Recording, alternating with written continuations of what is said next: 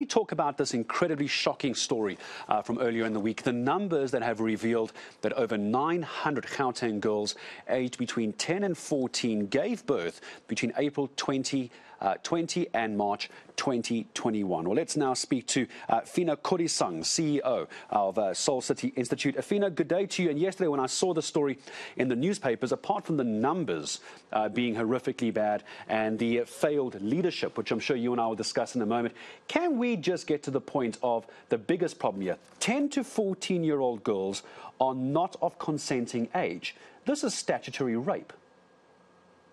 Yeah. It is statutory rape, and we are not calling it what it is.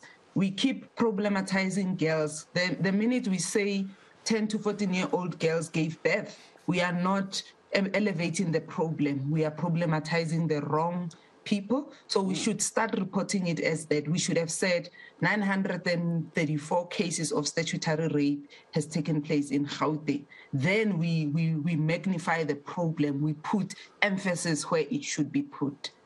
I couldn't agree with you more. So, how do we now start trying to a uh, find out who is impregnating these young girls because they're committing a crime, obviously. They're destroying lives. And it's the lives I'd like to go to next.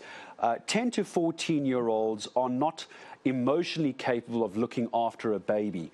What happens in a case like this? What would the Soul City Institute do to assist these uh, incredibly underage mothers?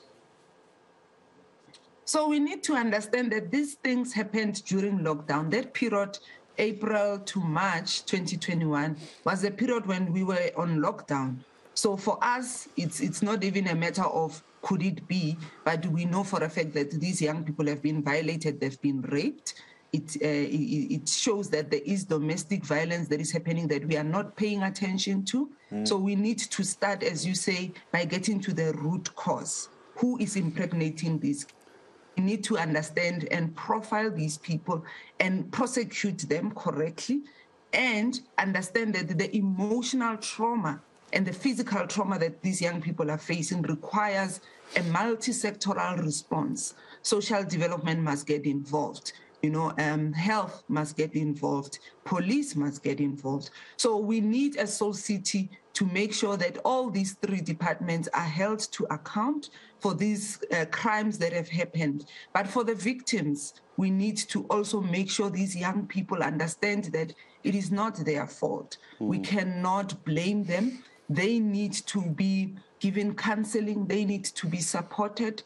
It's unfortunate that it's after the fact you know and in our country right now prevention programs are not given the funding that they need so you are asking what as Soul City we would do. We do have programs that we run, but we, we, we cannot reach every young person because the funding that is required is diverted to other activities and prevention is left I guess, to people to see how they do it themselves. Mm. Can we talk a little bit, uh, Phinah, about the reporting of cases like this? It is still Women's Month, and a, an ongoing issue has been for years and years and years. Is this second victimization when reporting uh, some kind of sexual assault crime, whether it's rape, uh, etc. I can't imagine for the family or even a little 10 to 14 year old girl who's having to now give birth is going to be willing to come forward uh, to report uh, being pregnant and that she was uh, raped. And I, suppose this is where the second victimization, the second trauma uh, is going to come in, isn't it? Yeah. And uh, I'm sure even the numbers we are seeing are not you know, the correct stats because some would have gone and had backstreet abortions, you know, or some, you know, are not even coming through the system. So reporting is a big problem, but also the problem is how these matters are handled in the family, in the society.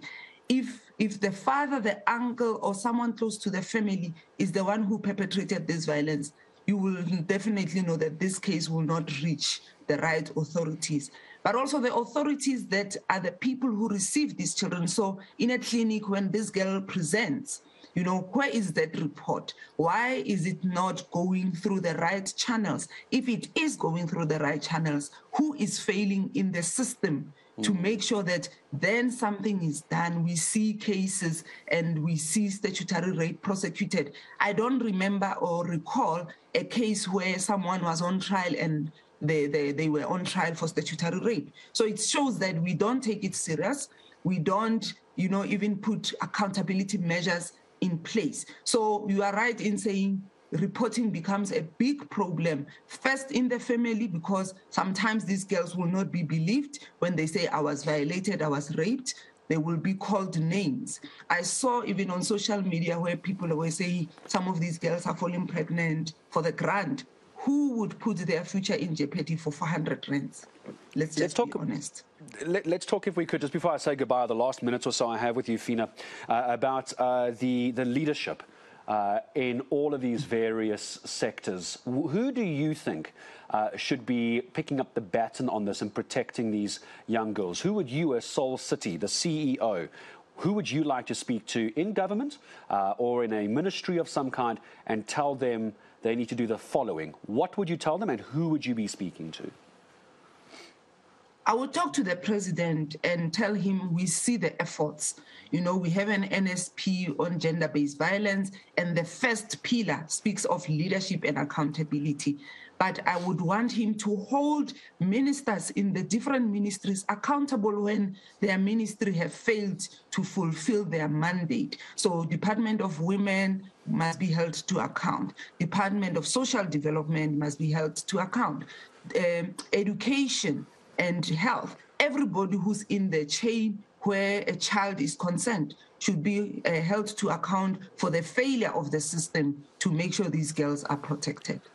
It's a pleasure speaking to you. I wish it was under better circumstances, but raising such good points. Phinah, uh, always a pleasure, and I really hope that anybody who uh, might be uh, in the know about these young girls who are pregnant get hold of uh, the Soul City Institute. I'm sure you can find them online. Phinah Kodisang, my thanks to you this morning uh, in joining us, uh, the CEO of that organization.